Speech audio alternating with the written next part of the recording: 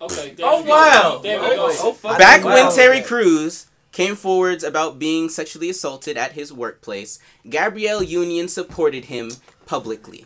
However, comma, when Gabrielle Union recently came out about experiencing racism in the same workplace that he works in, America's Got Talent, he was silent. And when people came to speak to him about it and confronted him on the fact that he was silent when she had stood up for him, he put out a Twitter post, not directly speaking on He Gabrielle or saying any fuck up. specific names. He said I something along see the it. lines of, "I only have to be loyal to my wife." Ooh. I didn't know all that. Shut that. the fuck up, nigga. Ooh, I want to say something. I got. I, can I And- speak, Pastor? Pastor, can I? Can I say something? Yes, you can. And once I get the quote up, the Like a direct quote, I'm gonna say the the direct direct quote, quote. and then we'll continue. But yeah, you can start off. So my Shut your ass up. uh, my my opinion on the Terry Crews situation, I feel as though that he is a hypocrite. Yeah. Um, Most he may not know it.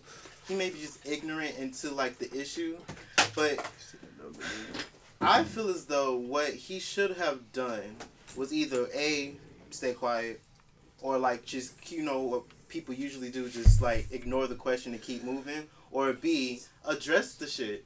Because you know her experience is valid as a black woman. She experienced racism and sexism. He he claimed that even though he can't attend, like he can't like um he can't understand the experience of sexism because he's a man.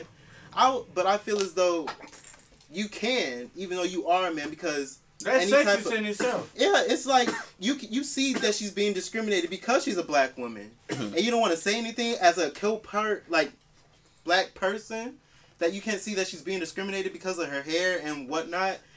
Terry Big Crews, you either you do, you being a Steve Harvey right now, as you Conan trying to protect your check instead of your integrity. And I just want you to know something. We looking at you, and I had your back. Yeah, I was We I was really for for him. I'm like, And We're then- all All rooting rooting for for you. you. How dare you? you had it all and you blew it. So here are the statements that he put out, the direct quotes. He put out a tweet that said, Okay, journalism. I'm a hog, you're a chicken. Just because you gave me eggs don't mean I owe you bacon. Later on, another tweet followed that said, There is only one woman on earth I have to please. Her name is Rebecca. Not my mother, my sister, my daughters, or co workers. I will let their husbands, boyfriends, slash partners take care of them. Rebecca gave me wings. I'm not for sexual assault, but Terry, come on now. Later on, in a in an interview on third on. hour of today, Sir. he said, First of all, I can't speak for sexism because I'm not a woman, but I can't speak on behalf of any racism comments. That was never my experience. In fact, it was the most diverse place I have ever been in my 20 years of Hey, entertainment. hey, hey, more diversity don't mean defect. Don't mean pro black. It, it, yeah.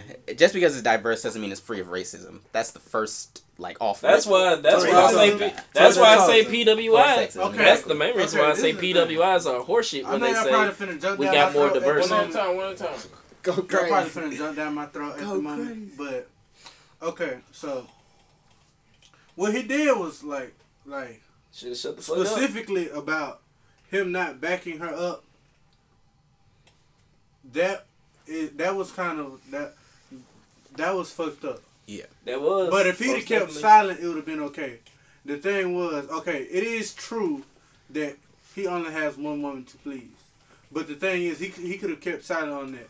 Him saying that he might not have experienced racism. Sometimes people might feel like, okay, some people might think you might just be reading into a situation. You might just mm-hmm. be thinking that it's discrimination, and you might just be taking something the wrong way Yeah.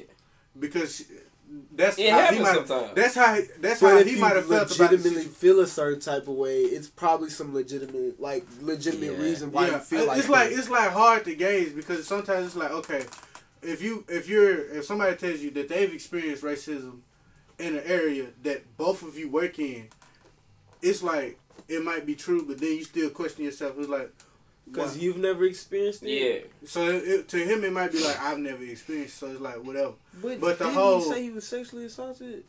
That was a different workplace. But yeah. Doesn't. That's a different workplace. It was a different year scenario too. Yeah, Like